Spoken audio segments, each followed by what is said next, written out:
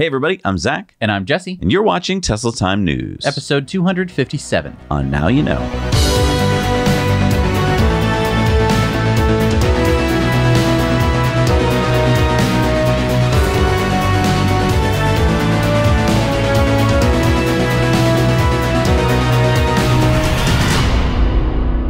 We're brought to you by our amazing Patreon patrons. You can support creating independent news every week by heading over to patreon.com slash now you know, and there you'll find some awesome perks. And one of those perks is at the $8 a month level. We have a monthly live stream with Zac and Jesse. Our next live stream is happening Saturday, August 14th, so be sure to join us for that. And we're brought to you by BigBattery.com. No matter what you need to power, Big Battery can provide you with the latest battery tech at the best price per kilowatt hour guaranteed.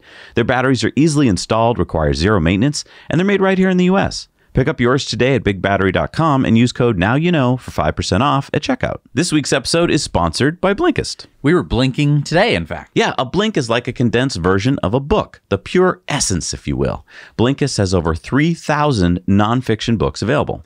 We blinked The Brain, the story of you by David Eagleman. And if you're wondering how we both blinked it, you can either read your blinks or listen podcast style with their apps. So we listened together during lunch. It's a cool way to learn new stuff in a way that I don't think was ever possible. Right. I mean, there are audiobooks, but those take hours. Blinks take about 15 minutes. So a few minutes later, you have all the basic takeaways from a book that would normally have taken hours or days to get through. And we're not the only ones. Blinkist has 14 million active users. And if you like audiobooks, and who doesn't, Blinkist also has full length audiobooks with premium subscribers getting special member pricing up to 65% off the regular retail price. And Blinkist now has shortcasts. They've teamed up with popular podcast creators to blink those for you too, so you can get to the heart of a podcast episode fast. The first 100 people who use our link are going to get unlimited access for one week to try out Blinkist. You'll also get 25% off if you want to try the full membership. And the seven day trial is completely free. You can cancel it anytime during that period. So, Tesla increased the price of the Model S again this week, raising it $5,000 to. Didn't we already report on this like a couple weeks ago? Yeah, we reported on the previous price increase,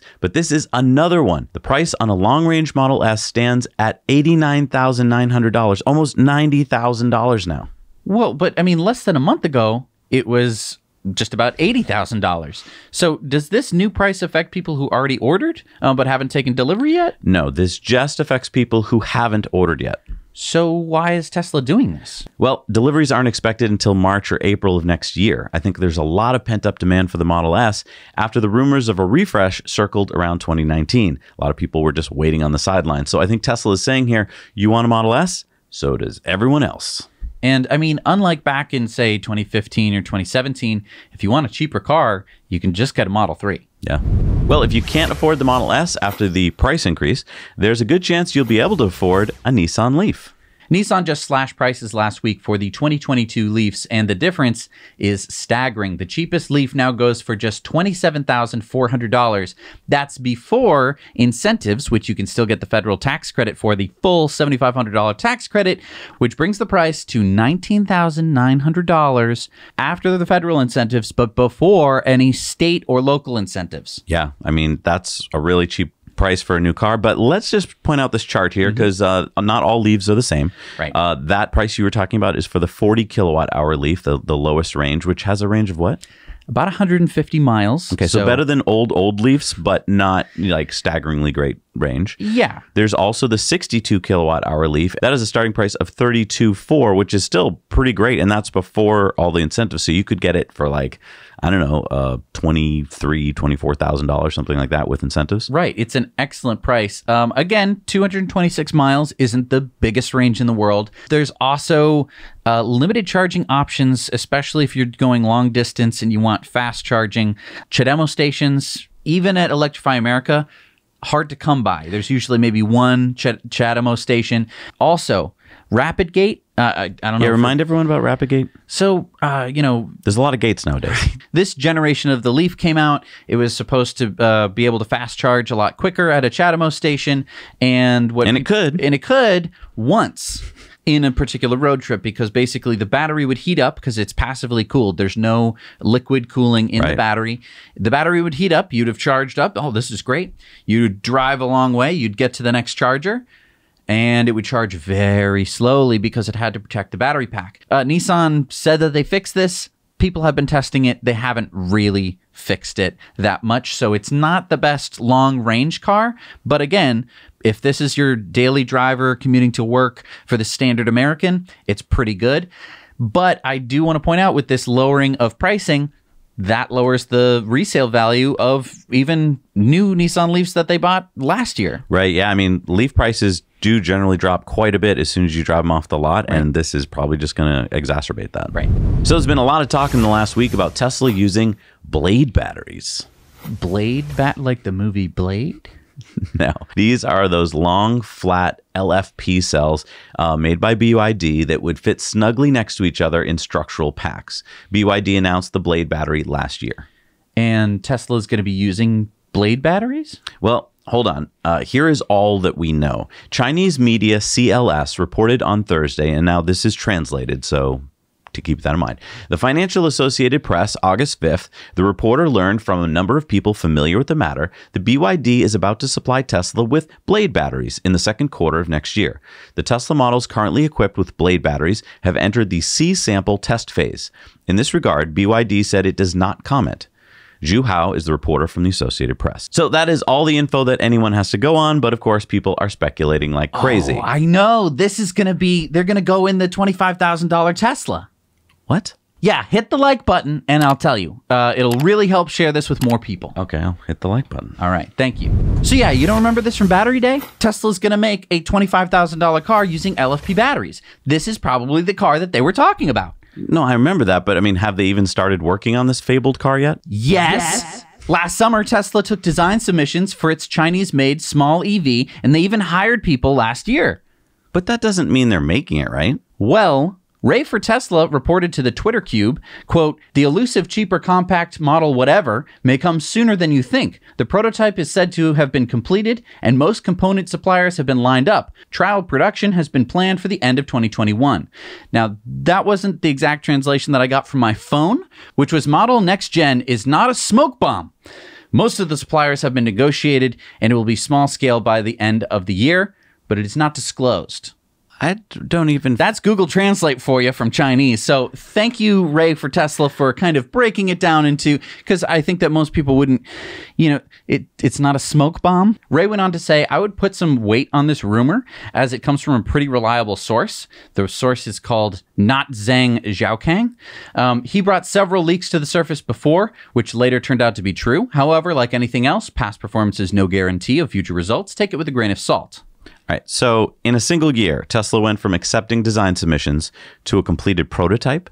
I mean, and they'll have it ready to start production by the end of this year. Yeah, why not? Well, because the Model 3 began design in 2013 and it wasn't even unveiled until 2016 and wasn't even produced until the last half of 2017. But they were kind of also planning on the Model Y, which could have slowed down development. Plus, Tesla was a much smaller company back then, and this should be a much smaller and less complex car. Plus, you saw how fast Giga Shanghai was built and continues to grow. Uh, I mean, maybe they did it. I mean, this is all a bunch of speculation based on two unsubstantiated rumors, so don't get your hopes up. But I mean, I think that it is possible for Tesla to make a $25,000 car.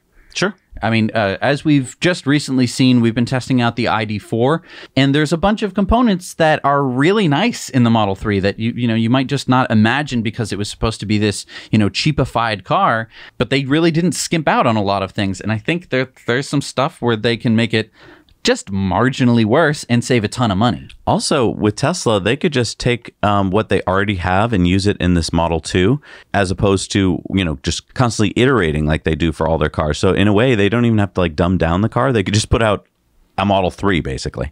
And then the Model 3 will continue to move past it, and this will become, you know, the Model 2. And there's been some other speculation that maybe they could just mega cast the whole thing. Right. I mean, just have it be like a uh, like a die-cast car, like a like a Hot Wheels. Now, I don't think you can mega cast the entire uh, piece of the car. I think you still need to do the front and the back, but this blade battery is structural. So, I mean, it could be. I don't know. There's There's a lot of uh, a lot of questions here. It would be cool. They have patents for it. And the people working on these mega castings now are the lead experts in the world of casting cars. No, So- I hear you. I mean, just imagine if this is true. Imagine if a Model 2 comes out at the end of this year, which is literally almost here. Uh, that would be groundbreaking news. I mean, that would be an, just another sea change. Right. Now, we did put it to our patrons over on Patreon, um, and we're going to re- be reporting on that later on in the show, so stick around for that. because they're always right. So we've been covering the ongoing story of Chevy Bolts spontaneously catching fire due to two manufacturing defects in the LG made battery cells. We reported recently how Chevy is issuing a third recall on 2017 through 19 bolts. This involves checking battery packs and replacing defective packs or modules. Now, that sounds kind of expensive. Oh, it is. According to GM's Q2 filing, they spent $1.3 billion on all recalls during the quarter, with $800 million of that alone just for Bolt recalls. Wow. The Bolt recalls single handedly reduced GM's profit by nearly 30%. Wow. And we don't even know if it's over yet. I mean, we don't know how many bolts were fixed this quarter. There's a good chance that we could be seeing more costs next quarter. And I'm sorry, I just want to make a side note here. As we've been researching all these bolt fires and the whole recall, I came across that US News bestowed the Chevy Bolt with the Best Electric Vehicle Award for 2021. Now, putting the fires and the recall aside, um, what? Yeah, the Chevy Bolt is not the best EV of 2021, not by a long shot. It might be a great value or maybe get the good result for not trying hard award, but under no circumstances is it the best EV. Now, I know that I'm biased, but uh, Zac and I test every EV we can get our hands on, and the Bolt is not even in the same league as any of the Teslas, if you know what you're talking about. So please, mass media news organizations, stop giving awards for things you obviously know nothing about. It just hurts your reputation. All right, there is so much going on right now with SpaceX and Starbase this week. Let's start with Eli and the Starman report to get us started. Welcome back to the Starman Report. I was out last week because I was taking my daughter on a trip to visit some family, but now I'm back and there is a lot to catch up on in the world of space, so let's jump right in. The march to the inevitable is over. And by that, I mean the inevitability that SpaceX would win out against Blue Origin in their challenge of the lunar lander contract that was awarded to Elon Musk and SpaceX. The GAO, the Government Accountability Office, rejected Blue Origin's argument that the space agency had overlooked the company's attributes, writing in a news release that it concluded that NASA did not violate the procurement law or regulation when it decided to make only one award. This means it's over. SpaceX is the sole provider for the moonlander. Before we put this to rest, we need to highlight the tactics that Blue Origin was using as part of their strategy to make their appeal. There is the following infographic on Blue Origin's website where they call the Starship immensely complex and high risk. And they go on to explain that the national team, which is Blue Origin's proposal, is safe, low risk, and fast. The cold truth is, they just can't compete with SpaceX, so they're trying to gain support by shitting on them. Nice try, Blue Origin. No one's buying your narrative. Blue Origin took 20 years to get to suborbit, and SpaceX, in a fraction of the time, has already stacked the orbital Starship for its first test flight. SpaceX built and attached 29 revolutionary Raptor engines in the last couple months, while Blue Origin is four years late on delivering their BE 4 engine. The choice of who is capable of taking us to the moon and beyond is clear. What a perfect segue to what's going on with Starship at Starbase. SpaceX just completed stacking Starship on top of the Super Heavy booster, and it's hard to appreciate from these photos, but the rocket and booster combined comes in at just under 400 feet. That's the equivalent of a 40 story building. Unfortunately, it's really hard to appreciate how big this is until you see it in person. And if everything goes according to plan, I will actually be flying out to Starbase on Thursday of this week so I can see it in person. If you are in the Starbase area, please hit me up on Twitter at Eli Burton. I'd love to connect with you. Last but not least, Tim Dodd, the everyday astronaut, has released his first part of his three part video of his behind the scenes Starbase tour and interview with Elon Musk. I must warn you, it's definitely nerdy, and Elon gets deep into the details of how he manages engineering at SpaceX. But even if it's not normally your thing, it's really worth the watch. Anyway, guys, thank you so much for watching this segment of the Starman Report, and back to you, Zac and Jesse. Thanks, Eli. Have a great time at Starbase. I am super jealous. Uh, maybe I could steal his Starman suit and just replace him. I mean, I have a Starman suit. Oh, right. Damn. Does it fit you?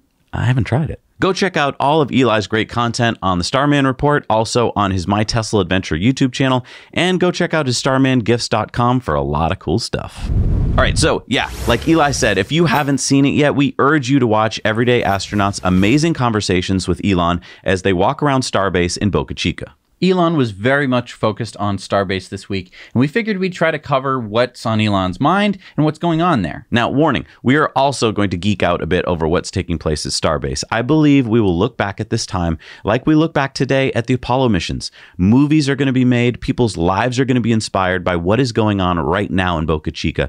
It is truly astounding the progress that SpaceX is making. So let's check it out. Elon tweeted Starbase is moving at warp 9. Tesla Owners Online said, Elon, how much does that part of the launch table weigh? Elon said 370 tons. And so, what is that they're building there? What is that? So that is the launch stand that they're going to stack uh, Super Heavy and Starship on top of. Wow. As we learned from Tim Dodd's interview with Elon, Elon has a five step process to manufacturing something. Number one, make the requirements less dumb.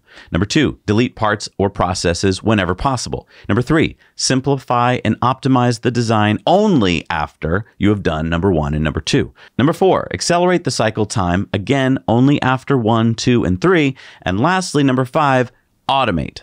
This is something that should probably be going into like engineering textbooks. Oh my god, it should be plastered at like as you enter every engineering school in every classroom. Right. I mean, there's a lot of nuance to this, which is why it took Elon about half an hour to go through all the five points. But they're really important points when you're talking about engineering, and I think that every engineer on Earth could learn something about And he it. gave great examples of how he learned this the hard way. Right. And he has learned this the hard way multiple times, and he even admits that he thinks that he's always not doing it properly. Right. Um, it's a very hard process. It doesn't uh, make as much logical sense as you would imagine when you're in the thick of it. Right. Yeah, because you automatically think that whatever you're doing is the right thing. In fact, let's take this example here the grid fins. Um, on the Falcon 9, the grid fins fold. And so you would think, of course, the Starship will do that again. And on Twitter, Eric X says, looks like non folding grid fins on BN4. Guessing this is the case for best part is no part. Is this accurate, Elon? And Elon said, yes. So what's he talking about? So the grid fins aren't going to fold up. No, no, I'm sorry. This this goes up into space, and so they have to fold out of the way. Uh, apparently, they're not going to. Uh, Elon was like, yeah, folding them requires the most parts. And it turns out they don't think they actually need to have them do that. And so he's going back to his own principles of question everything. Do they need to fold? Why do they need to fold? Right. And the interesting part here is instead of taking like four years in simulations, he's just going to try it. If it doesn't work, he'll change it. Right. I think that a lot of people think that this is like a Kerbal space program kind of uh, approach, and it kind of is, and it's kind of a good approach. I mean, if you've got the time and if you've got the engineering resources and you could build rockets this fast, why not? Yeah. Eric X went on to say, any payload for the orbital attempt? Elon said a wheel of cheese. What? Uh, that I believe a wheel of cheese was in their first payload to orbit. And so do you think it's like a brie and then it comes back all soft and mushy and you just can have like a, a nice brie party? I don't think it. No, it's not brie. no. No. Will it make it back alive? I mean- or did you just have like a melted cheese mess inside the? Uh... I mean, if something went truly wrong, it it's not going to melt. it's a gonna- fondue, it's- like- no, it's going to be just carbon. Our very own Eli said, People really underappreciate how much time and mental energy that Elon puts into making our future better. He's all in and racing against the clock of his own mortality. And this is, by the way, because Elon admitted that he hadn't showered in several days uh, when he was doing the, the video with Tim Dodd. He just wanted to get this week done. And Eli said, No one knows how much time he has, but however long, it's not enough. And he knows that. Elon said, "Yep." Wow. Wow. So, I mean, he's not pushing like to get a good number out for the next quarter. He's Right. pushing because he wants to get this done before he dies. Right. So then Michael Baylor said orbital launch tower lift is underway. So this is stacking Starship 20 onto booster 4. Elon said stage zero, which is everything needed to launch and catch the rocket, is at least as hard as the booster or ship. So, So stop there for a second and realize that uh, you think it's hard to get this rocket to go up and come back down. He's saying the launching and the catching of the rocket is equally, if not harder. right, just the stuff that's sitting on the ground. It Yeah. doesn't need to go up in the air at all. It's bolted to the ground, and it's still hard to do. Alan Dale said, Is there a render of how the catch of the booster will work? Elon said, We'll post once we have a decent simulation. Our first design will probably be far from the bullseye. And as we watched Elon and Tim talking about Starship, Elon seemed to be getting ideas on how to optimize and iterate, which is really fun because as they're talking, he's like, "Oh, you know, we could we could do it differently." Uh, we can see here in this Twitter exchange that Elon is always looking for ways to improve. Catboy Rocketry said everyone yelling about the grid fins like SpaceX didn't have a massive team of engineers research and design these because of clear cut benefit. Clearly, you on Twitter with a degree in Kerbal Space Program should know more than hundreds of people with degrees and hours of work and research. Elon said, Indeed, grid fin designs clearly work, but do they maximize payload? Good chance that they do not. Something with much more drag to reduce terminal velocity and so reduce landing propellant might have better performance, not sure. Potential future optimization. Okay, so like he's already saying like maybe we won't need grid fins. Right. I think it's really cool that they're kind of putting in a big margin on this rocket. So it's not just like it's just enough to get something, you know, into whatever we're doing. It's like, oh yeah, there's plenty of room for improvement. Like we could probably a- also be like launching, you know, hundreds of satellites at a time, but yeah, we could we could make improvements and make it even more efficient. Elon was talking with Tim about how they'll do all this tweaking to save a, a few pounds here and there and then come back down with Falcon 9 still having a ton of fuel left on board. And he's like, so for all the work you're trying to do to save, you know, a gram here and an ounce there, if you come back with a ton of fuel on board, who cares? So uh, he's looking at it from a bigger perspective of like, maybe we shouldn't care so much about the grid fins being so heavy and worry more about making, you know, the fuel more efficient. Right. Uh, he went on to say installing Starship booster engines for first orbital flight. And um, keep in mind, this is all last week. Right. And uh, you can see him holding Little X there. And Little X someday is going to have what an amazing story to tell. I mean, I don't think he's at the age where he's going to remember any of this, but it's I mean, He's No, absorbing it. He's no, absorbing it. I mean, it. no children have grown up in this environment before, where they're just like building a rocket in like weeks at a time. Can you imagine you're the you're the foreman on the job who's moving the cranes and moving, and there's there's, little. X and, and Marvin the dog running around. You have to be careful of.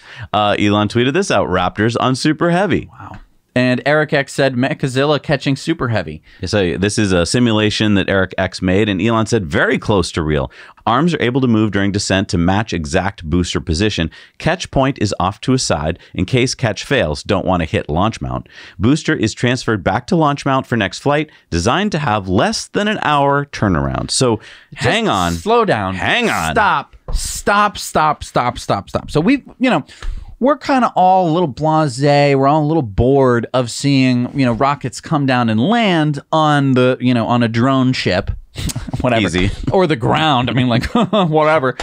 So what SpaceX wants to do is take super heavy, a huge, massive rocket, bring it down, and not just land it. They want to catch it with a tower. and then turn it around so it's ready to go again in an hour. And this is why uh, when we say that you're going to be taking transcontinental flights on rockets, and you're like, but how's that possible? He's figuring it out right as we speak. Everyday astronaut went on to say, I love that you called them chopstick catching arms in the interview. This will be the craziest thing to ever see. Elon said we stole the idea from Karate Kid. Uh, Elon said, super heavy booster moving to orbital launch mount. And again, this is all happening in the same week, last yeah. week. Viv said, might be a silly question, but why are the grid fins not evenly spaced out as they are on Falcon 9? Elon said pitch control requires more force than yaw and much more force than roll. Also, grid fins closer to or in the wake of the booster are less effective. However, pretty good aero control can technically be achieved with only two grid fins with some effect on accuracy. Like he's already trying to get rid of a grid fin. Right.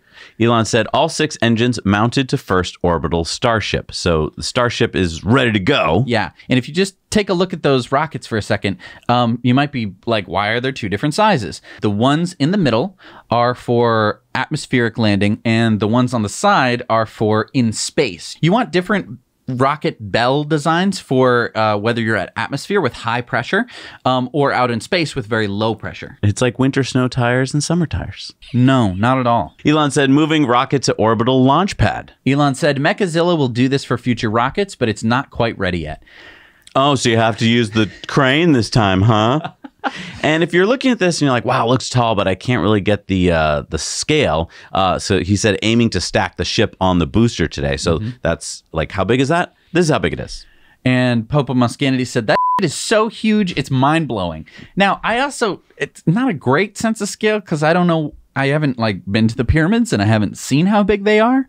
Elon said, aiming to stack the ship on the booster today. But then he said later, winds are too high today. Looks like wind speed will be low enough to stack early tomorrow morning. TechVamp said, will this be an issue in the future with maybe better designs for high winds? Because I would imagine this is pretty important for faster launches. Elon said, once Mechazilla is operational, winds will rarely be an issue. All right, so then he tweeted out Starship fully stacked uh, and all these awesome pictures. And I wanted to ask you, Jesse, why is one side of Starship black? So those are the ablative heat tiles. But why only on one side? Uh, so like remember the space shuttle? Oh, right, because it's going to come down like a belly flop. Right. And Oh, right. so as it does that, that side heats up a lot, the other side doesn't as much. And you might be wondering, well, why haven't we seen these before? It hasn't gotten high enough to have to go through the atmosphere at such speeds that that, that kind of heating mitigation is going to be needed. And let's remember, this is a team effort. Elon said, an honor to work with such a great team. Michael Sheetz said, how did it feel to see it fully stacked? Elon said, "Dream come true." So this picture was tweeted out of uh, to scale all of these different rockets, and Starship by far the tallest. Now uh, at the bottom, you could see the max payload, um, Earth to orbit. Elon kind of tweeted about this. He said, "Over time, we might get orbital payload up to 150 tons with full reusability." And then he said, if Starship then launched as an expendable. Payload would be around 250 tons. What isn't obvious from this chart is that Starship and Super Heavy is much denser than Saturn V. So, Wait, one- so expendable? right. So, I mean, the Saturn V, when it went up and, you know, shot the Apollo astronauts to the moon, um, they didn't get any of it back. Oh, right, It right. didn't come back and land, and they weren't able to reuse it for, you know, Apollo Oh, 12. I see. So he's saying this isn't a fair comparison because if you shot Starship up and you didn't care about getting it back, you could put much more payload in space. because you don't have to then turn Right. it around, slow it down, bring it back, land it, any of that stuff. You just go send it. You know, Right. that would be all you'd do. And Elon tweeted out, "Here's a picture minus the lifts." So we're seeing just kind of the stack there, which So is we're not seeing amazing. the Godzilla arms. And then Elon tweeted out this black and white photo of Starship coupling with Super Heavy booster. Um, and it reminds me of this famous photo of the lunch atop a skyscraper. And Elon agreed. Uh, John Carmack said, has the feel of the old buildings, skyscraper photos. And Elon said, always loved those Empire State photos with people eating lunch out on the beam. And Yeah, so, yeah, I mean- this might become the classic picture of our day. That'd be really. Nice. I mean, you know, because like everyone in the world has seen that photo of the uh, the guys out there having lunch, and I feel like in the future this might just be one of those photos that everyone's like, "Oh yeah, I remember when they first mounted Super Heavy to the booster?" Like that's going to be a defining moment, I think, in human history. Yeah. Are, are they going to have lunch like out on the grid fins? They should recreate the picture of sitting on the grid fins. I'm just saying. I know that'd be dangerous, but it would be really cool. Hey, and if you want to share this with your friends, uh, all that's going on at Starbase, but you don't want to share the entire episode, we have a clips channel where we cut these down into bite-sized clips, make them much more shareable. Go check it out and subscribe. And Tesla Time News is sponsored by Cybertruck Owners Club. There you'll find a crowdsourced reservation tracker that you can update and find your place in line. We're about number 20, by the way. Uh, check out their website for Cybertruck news, discussions, and community for Cybertruck enthusiasts and future owners. All right, so it's time to give you an update on full self driving beta. Um, and I think the best way to do that is with tweets that happened this week. Electric Cyber Farmer said the path planning line seems less jumpy in this build. Still not crazy about how slowly it pulls out onto 50 mile an hour roads. It needs to commit and then get on the throttle. And Elon said, two weeks, actually. So now if he says actually, like, does he have to say actually multiple times for us to believe it? I don't know. So two weeks. Uh, Elon said, we are doing releases every two weeks on Friday at midnight California time. So that's helpful. That lets us know like when to look for new stuff. Holmar said the amount of issues that have been fixed between FSD Beta 1 and FSD Beta 9.1 is just mind blowing. Hope the team is very proud of themselves. Just doing my usual drives and thinking back on all the previous issues that are now completely eliminated. Elon said there's always a lot of cleanup after a major code release. Beta 9.2 will be tight. Still some fundamentals to solve for Beta 10, but now that we're pure vision, progress is much faster. Radar was holding us back. Damn radar. Elon said the Tesla AI predictions are swiftly becoming superhuman. Its guesses for what it can't see well feel like ESP. It has a vastly larger training set than any human and thinks only about driving. I am getting very excited about this tweet because we've been talking about this moment for years. Mm-hmm. And I don't think the software was actually up to what I wanted it to be mm-hmm. or thought it could be. And now Elon's basically saying, we figured out and it's getting there where the AI is now able to do more than like I can do. Like I have a bunch of experiences, mm-hmm. right? I can see like a ball go into the road and be like, I think a kid might be following the ball. That's like ESP, right?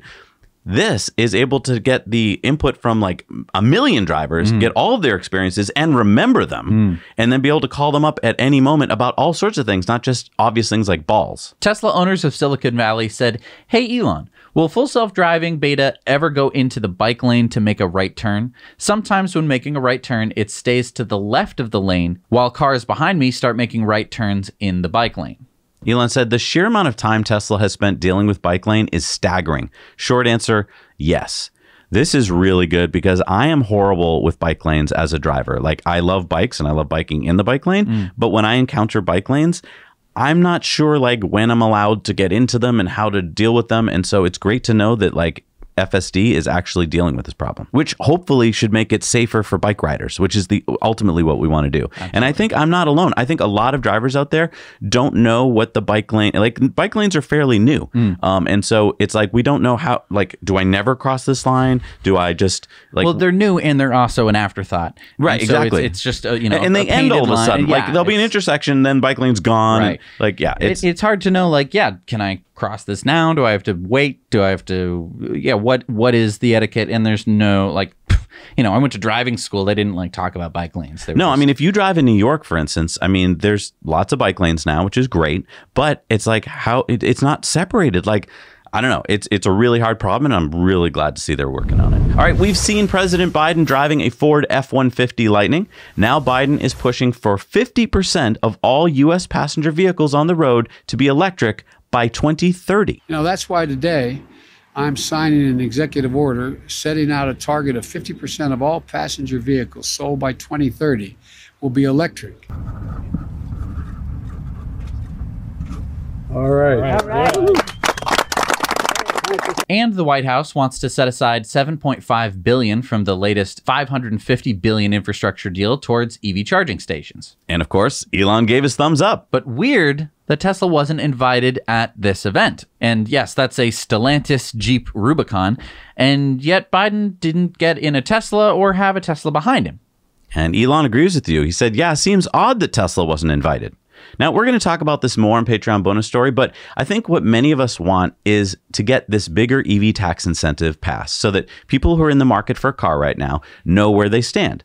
The language in the Clean Energy for America bill that we saw from earlier this year would drop the 200,000 uh, car limit and increase the incentive to $10,000 for US made EVs and $12,500 for union made EVs. And that would make a huge difference in getting people into EVs. So they, they basically want to know all right, well, I'm not going to buy anything until I know about that. And I do, you know, when we get to the Patreon bonus story, I want to talk more about uh, Stellantis. Is that even an American company? So, Oxford based company EAV, or Electric Assisted Vehicles, has revealed renders of its new concept modular electric urban delivery vehicle. It's called LINCS, Lynx, or Lightweight Inner City Solution. It's built on an aluminum chassis and is powered by two hub motors made by Saietta Group. Now, there's no battery size yet, but EAV says it will have a range of 100 miles using removable, swappable batteries. So, swapping rather than sitting while waiting for a charge. Mm-hmm. The platform is modular, so the cab can go on the left or the right side, and the rear can be covered, open, or a drop side loader. EAV says Lynx will be autonomous capable with all sensors and software. Now, I like this quote from EAV's CEO and founder, Adam Barmby. He said, It's a big culture shift step to walk away from the current legacy diesel powered vehicles on the roads. It's what we're all used to, after all, and people don't like change. But that change must happen, and Lynx is a key part of the movement towards an exciting urban future transport vision. But I hear what you're asking. Has this company actually built anything? And, well, yes, they have. EAV has these on the road, these electric assist e bike van delivery things, the two cubed. Yeah, I mean, these are cute. Um, they're small, and they're basically powered largely by uh, like an e bike uh, undercarriage. Um, and so while I'm super excited, I love all electric companies, I love this founder's vision. I just can't help myself be uh, reminiscent of like Arrival, uh, uh, another UK based company. And it just seems like a lot of us get super excited when we see renders of something because we're like, oh my God, it's almost here if you've got a render of it. Um, but it has become so easy to make a render and so hard to mass produce something. And, you know, even if they have a concept of it, uh, like a fully built one, that's fairly easy, as Elon points out. I mean, you spend a lot of time in a little factory putting together one thing. But if you want to make a lot of that one thing, uh, that's a whole other problem. So I'm a little bit optimistic and skeptical at the same time. I don't know how to put it. Right. It's it's exciting to see, but obviously going to be keeping our eye on them. So we talk a lot about how the fossil fuel industry is fighting renewable energy and electric cars all the time. And now, with a new report out from London-based watchdog group Influence Map, we have some more details to back that up. Influence Map tracks corporate influence on climate policy. Their research found 25,000 Facebook ads from just 25 oil and gas companies that launched in 2020, right after President Biden announced his $2 trillion climate plan. These ads have been seen 431 million times and cost about $10 million. Now, many of the ads contained misleading content. Now, who are the worst offenders? Exxon and the American Petroleum Institute ads made up about 62% of all the ads posted on the Facebook. So, when we say that big oil and fossil fuel companies are fighting the EV revolution and the renewable energy revolution, you might be like, well, Zac and Jesse, whatever, you know, they're just doing their job. They're just uh, trying to keep their businesses alive. But no, they're actively lobbying and, in this case, paying money for ads to mislead people so that when you you know are having a discussion with your friends on facebook and they're like well i heard. Yeah you heard wrong and you heard wrong because they're spending millions of dollars for you to keep hearing the wrong facts. Right. And this is really scary because people like you probably who are watching this um, probably aren't seeing those ads. Right. and so you might be saying oh 431 million times that's you know if everyone on uh, in america was on facebook then i guess you know you'd only see a couple of them uh, no it's going to be a smaller portion of the american population and they're going to be seeing them multiple multiple times. And if you see things multiple multiple times and uh, they're being targeted directly at you for uh, a reason because they know with analytics they, they can they know who to pinpoint they're like you wonder why there's such a disagreement all the time.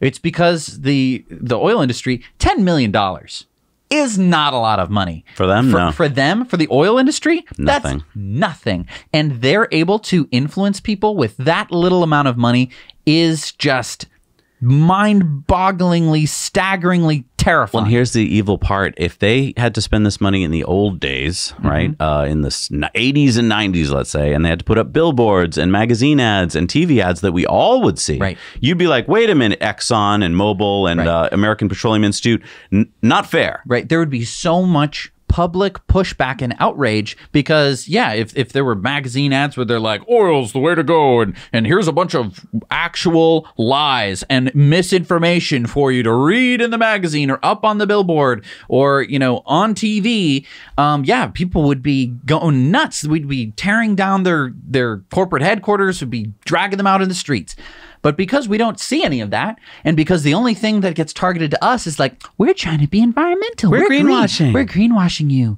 Don't you feel better? Look at it's a scientist. They're thinking about it. We're Look at this vial to- green stuff in Whoa, it. green stuff. Like that is how they do it. It's so f***ing evil. It's so evil, and we don't even get to see it. And and it's it's. I want to thank um, Influence Map for actually doing the research and figuring this stuff out because without it. We wouldn't know. We would just be like, why are all these people such jerks? I guess they're just dumb. No, they're being manipulated. How evil is that? Yep. So please share this over on the Clips channel if you share anything this week, um, because yeah, your, your friends who are like always fighting you, and it's like, where are you getting all this crap? And they're just like, well, I heard.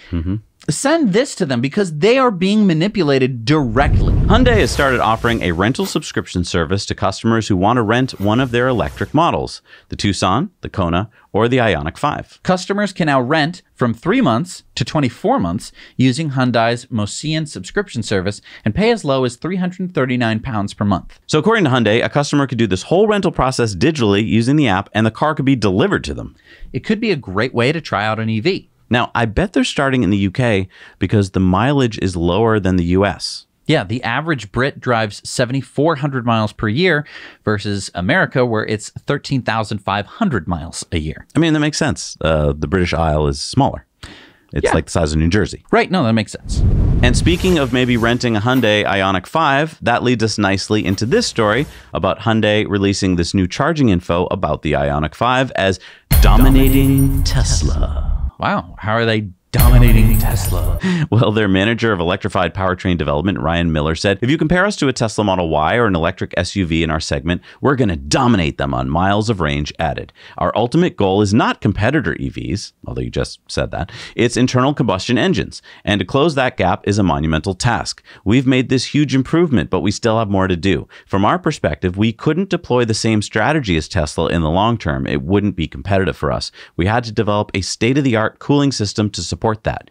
This battery has a cooling system that has what we call in cell cooling. So the actual edge of the physical battery cells are in contact with the cooling plate. This facilitates really rapid cooling during fast charging. So, wait. So, according to this chart that you're showing here, the Ioniq 5 can charge 10 to 80% in 18 minutes. Yeah, the Ioniq 5 is using Hyundai's new eGIMP platform. You like that platform a lot, I heard. Uh, it's an 800 volt architecture. And so, by using an advanced cooling system while the battery pack charges up, Hyundai is keeping the batteries from getting cooked. I mean, look, all of this sounds great, um, except for in-cell cooling. Um, but you know, it, like it, it sounds good that you can cool the battery and everything like that. I just we don't know how the battery life is going to be affected by like charging it over 100 kilowatts well beyond you know states of charge that are you know 60 70 percent Yeah, good point. I mean, until you have a car out basically living in the real world, you, you don't know those things. Kind of like what happened to Nissan with the, you know, Rapid Gate. right now how much faster is this than a tesla going to a 250 kilowatt supercharger Um, we've seen Model 3s that charge from 10% to 80% in 28 minutes. So this would be 10 minutes faster, 10 to 80%. wow i mean that's not nothing 18 minutes versus 28 minutes? Yeah, that's a huge difference. Right. I mean, so hats off to Hyundai if this is true. I mean, we have not seen the car yet. Right. Um, the Ioniq 5 has a targeted range of 258 to 290 miles, and we should be seeing the Ioniq 5 showing up in the US this fall. Now there are some real world tests that suggest that it's going to be a lot less range than this. Yeah, we've seen some testers who got a, their hands on an Ioniq 5 and drove it in real world conditions with rain and all that kind of real stuff, and it had a much lower range. Right. So uh, we just don't know until we can test it. And it's important to note that the lower the range of the vehicle, the less miles per minute you're actually going to be getting. Um, again, we don't know yet. It's just I don't have the best feeling in my stomach about it. No, I think that uh, Hyundai tried to pull a few tricks out of their bag. They went to a higher volt architecture. A lot of brands are doing that. Um, and then they did this massive cooling. That's great. But if you uh, aren't addressing the big elephant in the room, I think, which is the battery chemistry, which is a whole lot harder to work on. Uh, not only do you have to research and develop it, but then you have to produce it at cost. So I think they're basically using existing technology and trying to squeeze as much as they can out of it. Right. But overall, I'm very happy with Hyundai's work. Um, they seem to be, I don't want to say the leader in EVs, obviously that's Tesla, but they're uh, in some ways nipping at the heels of Tesla with some of their designs. And that's great because, I mean, if you nip at the heels of Tesla, you're going to just push Elon to run faster. All right, it's time for Into the Future. Actually, uh, no, this is going to be a trip down memory lane. in the future. Well, Okay. So remember this genius, Mark B. Spiegel, the managing member of Stanphyl Capital Management? Uh, yes, yes, I do remember him. Well, he wrote this back on September 17th, 2014. Quote, conclusion. Even if Tesla were able to grow as quickly as Microsoft did in its prime, an absurd scenario for a non monopolistic, non software company, it would produce only 186,000 cars in 2020. And um, oh, I'm sorry. What was that you were asking, dear viewer? How many cars did Tesla sell in 2020? Uh, well, let me see here. Uh, I don't know. I have the chart somewhere. Ah, yes, here it is. Why, that looks like Tesla sold half a million cars in 2020. But Mark Spiegel said no complex product manufacturer has ever grown that quickly from a revenue base of $3 billion or more. And uh, let's just point out that he bet against Tesla with uh, the the millions and millions of dollars. Oh, he shorted it. Yep. and um, it didn't go too well for him. No. no. And so yeah, someone on Twitter pointed out this quote that basically it was going to be impossible for for Tesla to do what they did, and Elon responded and he said it was difficult. So And I just love this because uh, for years we have been reporting about all this FUD, all of these shorts who are like, it's impossible. You guys are lying. This company's full of crap. Uh, and now we actually have done it. All the things that they said were printed for the whole world to see. And now we can go back and say, we told you so. You were wrong. And it's and it's fine to doubt. It's fine to be like, I don't know if this company, but to be so adamant at each step as they're as they're showing that it can be done and that they're a different kind of company to be so adamant that they're just lying to you. Well, and not only doing that, but betting not only against the company, but hurting the company, hurting the shareholders of that company by shorting millions and billions of dollars against Tesla. Um, when the the whole goal of Tesla is a pretty positive one. It wasn't just to you know cut down a rainforest. It was to produce electric vehicles, which could someday save those rainforests or the oceans or uh, you know your grandchildren from massive floods and hurricanes and awful things that is just not very cool. Uh, and so, yeah, That's like the nicest way to take that. Mark Spiegel. um, I mean, it. I mean, screw him. Hurt him f- financially more than any words I can say or can do. All right, it's time for Going Green, and we're sponsored by EcoWare. If you're looking for a great gift for someone or yourself, we carbon offset the manufacturing, the shipping, and the life cycle of your purchase. We plant 10 trees for every purchase, and We help cap a well with the Well Done Foundation. So go over to ecoware.us and check out all the cool Tesla and SpaceX designs that we have, including handmade solar powered mugs. yeah. Planning a trip with Airbnb just got a lot easier for EV drivers. Airbnb now lets you search for accommodations with EV chargers. Yeah, I mean, anyone who has used Airbnb to search for a place to stay has used their filters. Do we want a hot tub or free parking or pool or gym? And now, do we want an EV charger? So we searched the UK, for instance, and we found over 100 accommodations that offer EV charging. Yeah, I did a search of the United States and I turned up over 90 places. So weird that the UK is the size of New Jersey and had over 100 places, but still good. Um, Airbnb has partnered with Tesla and Solar City in the past to get Tesla chargers and solar panels installed at hosts' houses. Um, so if you're an Airbnb host, maybe look into that and increase your home's value. And by the way, the EV charger filter is under the facilities filter section. So I mean that's good to know. Another thing to note if you are like seriously looking on Airbnb is that maybe they don't have an EV charger, but maybe they have a plug that you could plug an extension cord into. Um, talk to your hosts about it in case they get mad at the electrical bill. All right, it's time for sunspots. So, Luxembourg based startup Mana Electric and its CEO, Joost van Oorschot, want to take sand and the sun and turn them into solar panels using these self contained factories called Terrabox. They say it could be used on the moon or Mars, and a byproduct is oxygen, which astronauts could breathe. Yeah. Von Oorschot says, We call ourselves the utility company of the solar system. That is very uh, like video gamey kind of Yeah. feeling. Now, I have not researched this or backed it up. I'm reaching out to the company to find out more. Uh, it does sound a little too good to be true, but I mean, you know, I- it's possible that there's robots in there, uh, right? Because I mean, solar panels aren't just made of sand. There, there's other stuff in there, Sure. but you could load it up with the other stuff too. Yeah, I mean, it's cool. it's very cool. It's very- you I just wanna turn a more. desert into solar, and then you could run the world off of it. And and I just want to point out, like, this sounds crazy, Mm-hmm. right? Uh, and you might dismiss it, but a lot of ideas sound crazy until you can make them happen. And this is how we move forward. So. Uh, until you know, until we know more, let's stay optimistic. And if you'd like to put solar on the roof of your house, it's not even as complicated as TerraBox, but there are lots of questions. So you can talk to our friends at Energy Pal. They have tons of answers because no matter how much you think you know, uh, there's always tax questions and there's always like up to the minute things that are changing. Energy Pal knows all this stuff and uh, they'll do it for you for free. So check out the link down below and tell them that Zac and Jesse sent you. All right, it's time for our video contributor stories. Before we do ours this week, I want to remind you guys you can send us your video contributor stories, shoot them in landscape, two minutes or less. Don't put any music in there and send them to hello at nowyouknowchannel.com and maybe you'll get yours on the air. What do we got this week, Jess? We've got our buddy Bill in Tennessee. Hey everyone, this is Bill from Linden, Tennessee. I want to do a, a little video showing some results that I came up with. Some pretty shocking, alarming results that I came up with. So I've done some videos on my YouTube page about this uh, electric lawnmower that I converted. I did this original conversion about four years ago, three or four years ago, and I converted the electric, the gasoline riding lawnmower, the Murray there, uh, just to electric, so that the electric, a single electric motor was running the deck and the tractor, and and that was it.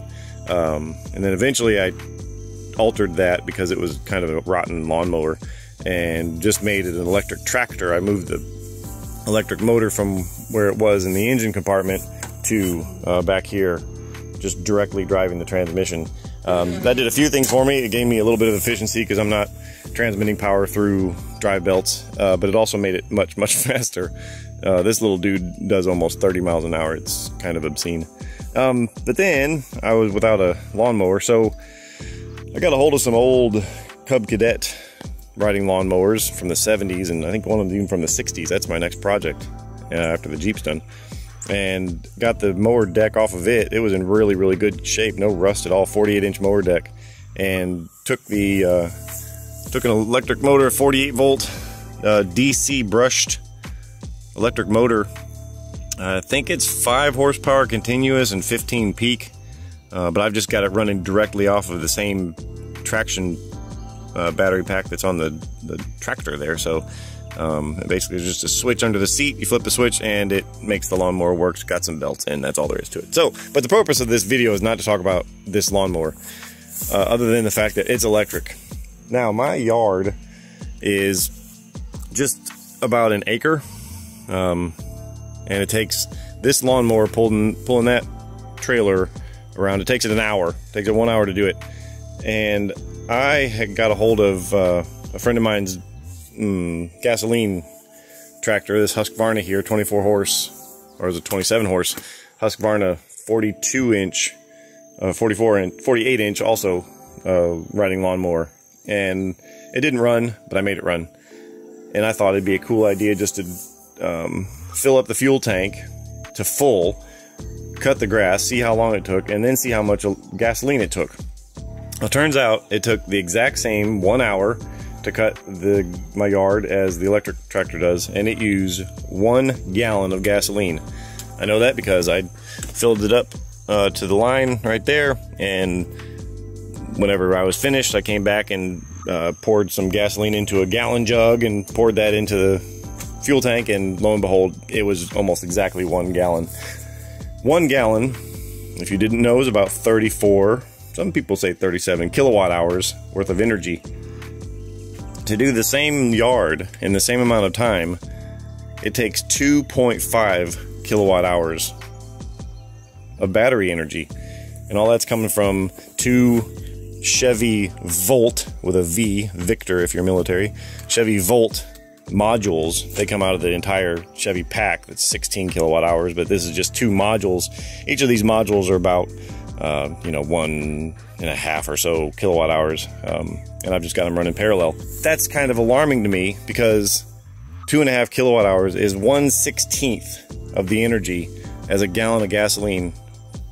Said a different way, that lawnmower over there uses 16 times more energy to do the same amount of work as this does. Say it another way, I could cut my grass 16 times basically an entire summer on one gallon of gasoline. There you go. That was just a shocking to me. I didn't. I knew it was going to be different.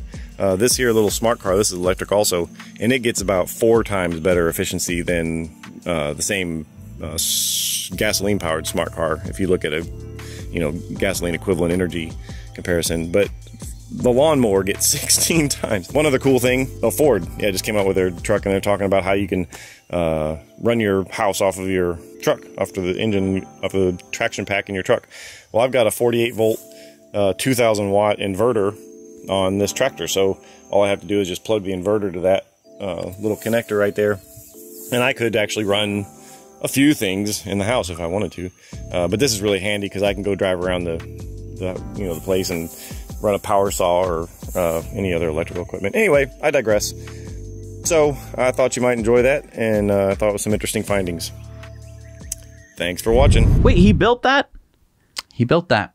That's awesome. That's it's so awesome. Um, I Bill, I gotta hand it to you, man. That's freaking cool. Yeah. Um, uh, please head over to Bill's YouTube channel so that way you could maybe ask him how he did it or And if uh, you want to know more, I mean, we have a, a whole series that we did on a lawnmower conversion where we talk about the basics of how to do it. So if you need some pointers and tips, we, we you got you know we got your back. yeah, uh, Bill seems a little more advanced. Sure, than I us. would probably talk to Bill first. yes, uh, that was really cool. All right, it's time for our Patreon bonus stories this week. Was Tesla sabotaged? Another Tesla driver asleep at the wheel and, more. More. Uh, Wow. and also for our Investor Club members, we have a bonus story as well about Arrival. So if you want to check that out, go to our patreon.com slash now you know. Support us for as little as a buck a month and you'll get to check that out. It's a Patreon bonus stories. All right, we are back from the Patreon bonus stories. That was really satisfying. It's time for our shout outs. These are people who support us for $5 or more every month. Who do we got this week, Jess? We've got Adia, Vlad Serbu, Sarah Irons Baker, Daniel Morrissey, Jason Mugo, Nicholas Veith, Justin Carlson, Charles McGill, Victor Case Sati, Michael Ratka, Chris Babcock, Christopher Ciccone, SDR, Anton Strunk, The Bigger Boat, Mike Gossard, Scott Kisser, Kim Polly Mortensen, Kevin Patch, Chaik Mamali, Alejandro Wilcox, Greg Corbo, Roland Schuster. and Meet Snowmaker.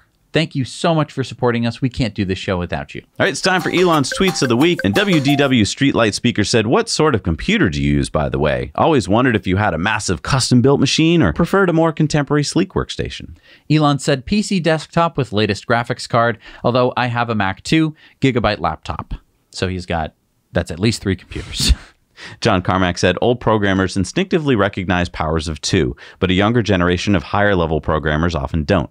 I was pleasantly surprised when my young son was considering 16 and 32 neat numbers. It was due to Minecraft. Casey Muratori said this happened to me in real life. Some programmers at lunch wondered if everyone only had one child, how long would it take for humanity to just be one person left? I instinctively said about 33 generations, depending on how you count it.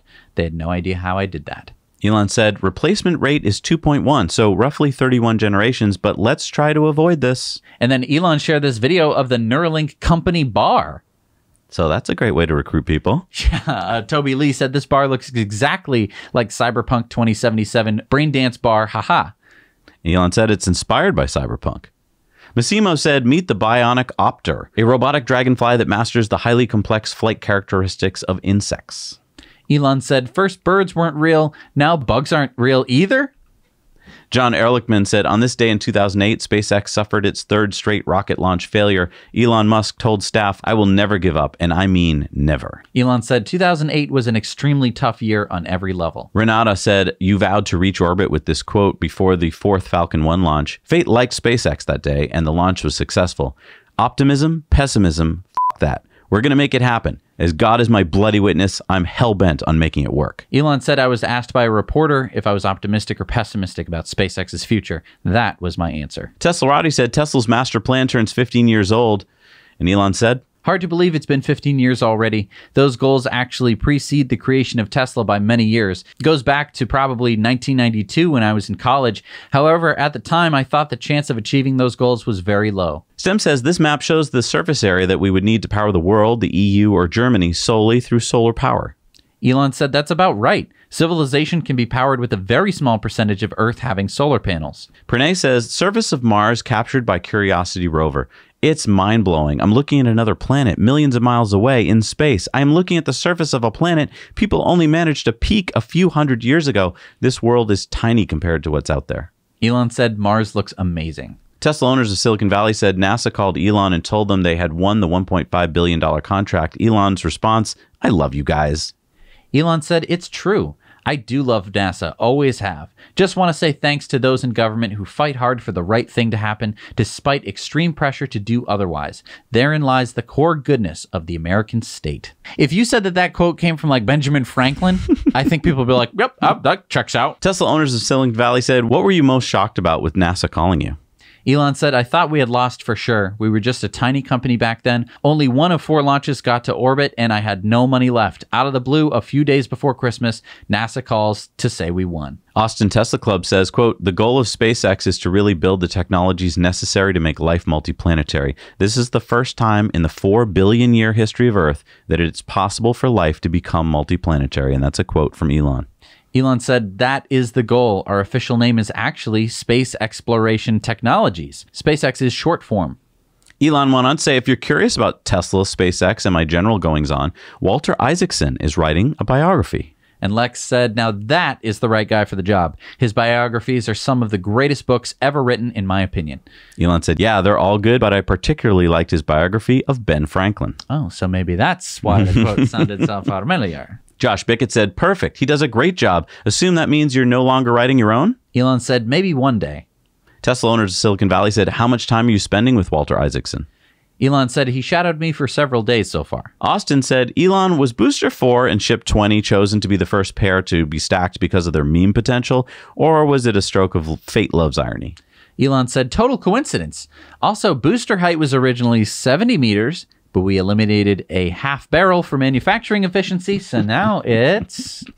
Alex said, starting with Plaid, Tesla pioneered in house direct wound manufacturing system that delivers next level performance and efficiency. Highly specialized companies agree carbon sleeve rotors are the future, but they still can't keep up with Tesla's pace of innovation. Elon said Tesla Automation Deutschland built a specialized machine to wrap the rotor with carbon fiber at precise tension. If too low, it would come loose at low temperature due to CTE differences. If too high, it would snap at high temperature and RPM. Right, so I guess buying Tesla Grohmann Automation was a smart idea. It was a smart idea and it really shows how far ahead Tesla is because the leaders are like, yeah, if we could do carbon fiber wrapped uh, rotors, we would. And Tesla is the one doing it, the only company that doing it. Ivan said, Elon, with the advancement of AI and such a large fleet collecting data, will Tesla ever overtake Waze by auto collecting data such as construction zones or potholes and bad roads and automatically route away from those roads via self driving without the owner ever knowing? Elon said, probably.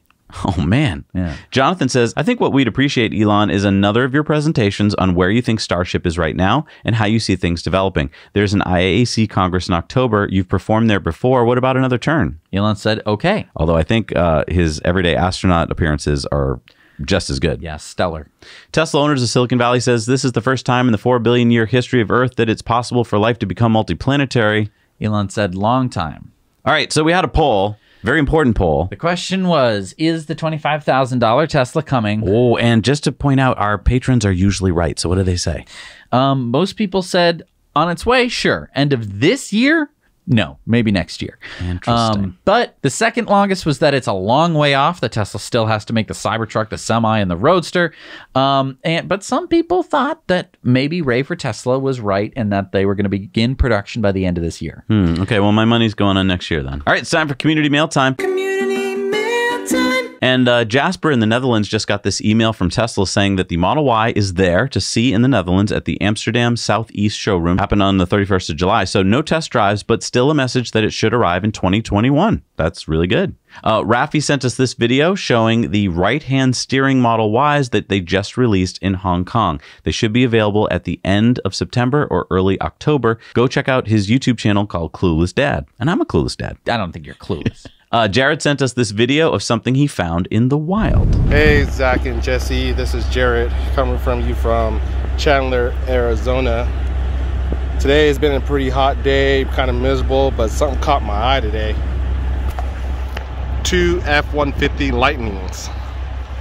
And what caught my eye about the vehicles was that the grill. and then the one on top, you know, with the light bar on top. And then the one on the bottom without the light bar on top. I will show you inside, but the way the sun is glaring, you really can't see inside. Um, I prefer not to show my face because I don't want no repercussions behind this. And then also, here in the back of the truck, I don't know if you can see, there's no exhaust. But there's also no badge saying, you know, lightning or anything on there. And I'm not sure this one does also doesn't have a, a light bar on the back of it. You know how it's supposed to go around the whole back same as this one also. And so can't really see inside. And then also one more thing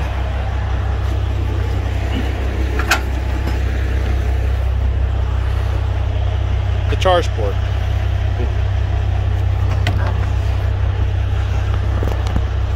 And then also on the bottom, you probably see the battery packs. Now you know. Are those F-150 Lightnings? They are. Oh. Uh, yeah. That's. I mean, there's no, there's no tailpipe, so they that's exciting either that or they have no engines i don't wow. know mark sent us these pictures of the nissan Ariya he saw in greensboro north carolina hmm. i wonder if the wind just blew that off or if uh, maybe he tugged it off I'm sure it's the, just the wind. Thank you, Mark. Uh, and Luke spotted an Ariya too. Uh, he said, Hey, Zac and Jesse, spied this quasi camouflage Nissan Ariya charging here in St. Charles, Missouri. Car had Michigan manufacturer plates. All vehicle badging was covered with tape, and the dashboard partially covered. Awesome that we got our spies out there reporting. Yes. This is really cool to see. So, I mean, the Ariya, it's real ish. I mean, I didn't think it wasn't real. I just, you know, it's been a long time coming. Uh, look what Christopher found in East London. Elon, Elon. That's great. Uh, and then be careful what you asked for, Jesse. Do you remember what you asked for last week? Yes, uh, different colored Teslas. That's all I wanted. Well, that's all you got. Corey says, here's a photo of my Tesla and a few others in Alberta, Canada. Shout out to the Tesla Owners Club of Alberta. We have two orange Model 3s, an orange Roadster, and a sick copper wrap Model X. Nice. How about this one? Dave sent us his photo of a gold Model 3 in Ottawa, Canada. Uh, Jose sent us these photos and a video of a turquoise Model S. Have we covered all your colors yet? Oh, we haven't? Okay. Catrice sent us these photos of her beautiful orange Model S. haven't seen that color before. That's beautiful. How about this? Hans sent us a photo of this multicolored Model 3 at the North Vancouver, British Columbia uh, in Canada. And uh, yeah, so just be careful what you ask for. I mean, we're still missing some colors. We definitely Oh, got. don't we, do that. We No. got orange covered squarely. I'm just saying we're missing a couple. I don't have any purple. All right, they're coming I in any. I didn't get any greens. All right, they're coming. So, look, I mean, you're just, I'm just saying. But then Dave said, Hey, Zac and Jesse, huge fan here. Been watching you guys religiously for the past four years. Why didn't I buy Tesla stock? Yeah, why didn't you? My wife and I were wine tasting yesterday at Fazeli Winery in Temecula, California, and lo and behold, there's a Rivian in the parking lot. It was a bit larger than I expected. It was pretty beat up as it looks like it had been going off roading a lot. Keep up what you guys are doing. All right, enough of the R1T wh- videos. Who, who gets to do this? Oh man. Oh, and um, just to, just in case that wasn't enough salt in your wounds, uh, Sean spotted this Rivian in Orange County at the REI camping store in Tustin, California. So yeah, they're they're around. I don't know why we don't have one yet, but maybe to take some of the sting off of it. Uh, it looks like the Cybertruck is going to be late too. What? I thought Tesla was going to build a few before the end of the year and we were going to get a Cybertruck Christmas present. Not according to the Cybertruck order page. Wait, so I'm not getting my Rivian or my Cybertruck for till next year? Apparently not. So uh, the the pickup truck EV revolution is going to have to wait a year. I could still get my Rivian this year. It's possible. They said September. They said September. RJ, come on, deliver. Uh, uh, please. All right, it's time for Supercharger reviews, and Carl hit us up with a future Supercharger update at Dodenhof in northern Germany. That should be opening in a few weeks. Hi, Zac and Jesse. Here's Carl Owen from Germany. I'm at Dodenhof. That's between Hanover, Bremen, and uh, Hamburg. On between the A27 and the A2. And what have we got here? We got Dodenhof, of course, where you can get a lot of snacks and buy a lot of stuff from everything you want. And look on this side, it's new Tesla Superstore with 250 kilowatt superchargers. It's a 12 store and they're just building it and getting it ready. I think it'll be open in the next two or three weeks. So that was Carl speaking from Germany. I'll give this an 8 out of 10 because it's not open on a Sunday. The superchargers are, but not the not the shop. So that's it. See you then. Now you know. That's exciting. Thank you, Carl. All right, well, let's check out the rest of our Supercharger reviews. All right.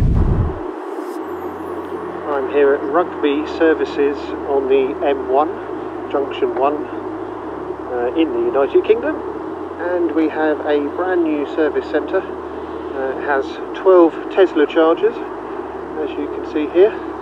Um, it's also got 12 chargers for uh, the electric highway, which has been put in partly funded by Ecotricity and partly funded by another company whose name I can't remember. I'm sure I can edit that bit in afterwards.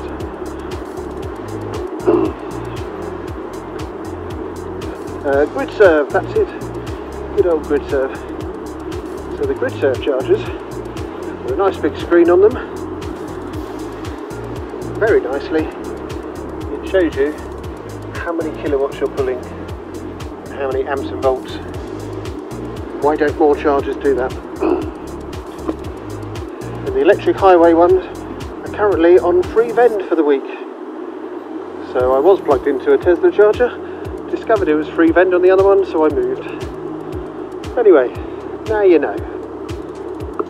Hi, Zac and Jesse, Soleil here, and I'm at the Rick's Cafe and Boatyard 3 stall Tesla destination charger. They're 16 kilowatts. We are just here on Eagle Creek Reservoir, just outside Indianapolis. They are real easy to get to. They are just off the main road. Great parking, nobody charging here right now.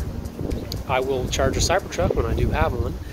The views here are pretty good. Rick's Cafe has good food and is pretty much what you want to do here for the destination charger. There's a dam just over on the side here.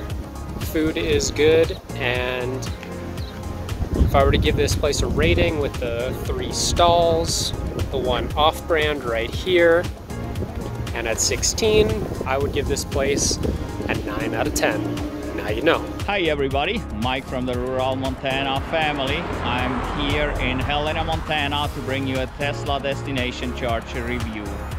I'm here at Hut Famous Chicken. This is a restaurant, bar, and casino, and it is kids friendly. It's a relatively small place, so there's an Arctic entry, two doors. And here we are. This is their dining room.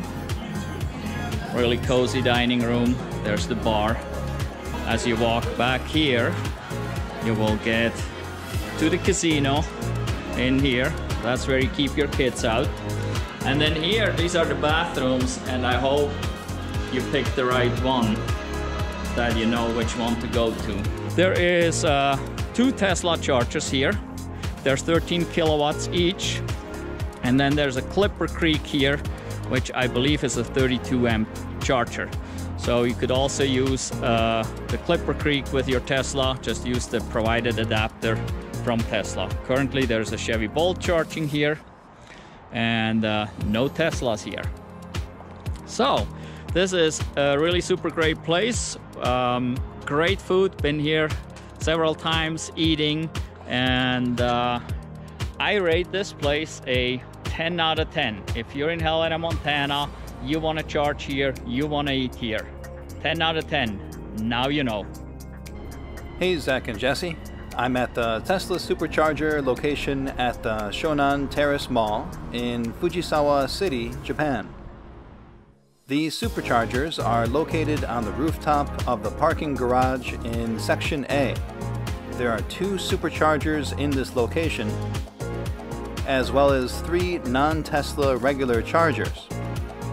Near the superchargers is an escalator that'll take you down into the mall.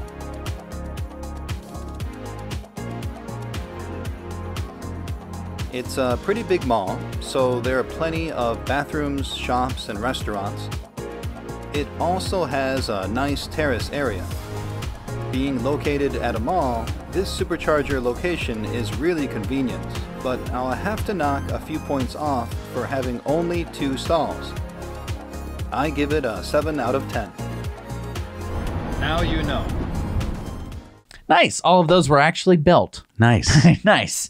So Um, cool to see them. Thank you for sending them in. And you know how to get them in, right? You go to our website, uh, nowyouknowchannel.com, the Supercharger reviews page, and you can just load them in right there, and then we'll get them and put them on the show. And you can view them right there too. I So know. if you're going on a road trip, um, there are new superchargers in the world though. What do we got? Uh, we've got the 12 stall version three in Tilburg, Netherlands. We got number 35 in the Netherlands, the 12 stall version 3 in Sassenheim, Netherlands. Number 34 in Hong Kong is the six stall version three at Oi Man, Hong Kong. Number 54 in New York is the 12 stall version 3 in Lake Grove, New York. Number 101 in Germany, the 12 stall version three at Plauen, Germany. Number 5 in Israel is the 8 stall 250 kilowatt in Afula, Israel. Number 233 in California, the 20 stall version three in San Gabriel. Number 38 in Pennsylvania, the four stall version 3 in Mansfield, Pennsylvania. Number 38 in New Jersey, number 1,107 in the United States, number 2,890 in the world is the eight stall version 3 at Mount Laurel, James Fenimore, New Jersey. And it's time for the Patreon giveaway. And to get into this big barrel of fun, you support us on Patreon. The more you support us, the more chances you have to win, which is a $30 gift card to EcoWare. Um, and uh, who's our winner this week? The winner is Michael Valicella. Congratulations to Michael. You're getting a $30 gift card where we carbon offset the manufacturing, the life cycle, and the shipping of your product. Uh, there's a lot of cool designs. One truck to rule them all. Gigaparts! uh, this does come in a, uh, a tank top, I believe. So. Ooh, yeah. Wear it at the gym. Because I know I don't deserve to wear, but if you do, maybe have a Giga Press shirt while you're pressing. speaking at of uh, pressing and looking good on the Uh-huh. beach, you're heading to sunny California. I I'm heard. headed to sunny California. Uh, that's going to be in uh, less than two weeks. So if if you're in California, if you want to say hi, if you work at SpaceX and you want to give me a tour, if you work at Tesla and you want to give me a tour, um, uh, I'm just it. Uh, I'm on You'll- vacation. you'll fit it in, I'm on right? actual vacation. Uh, so you can hit me up on Twitter. I just I just made my first Twitter account. Really? Uh, you can hit me up at jcatmcfly.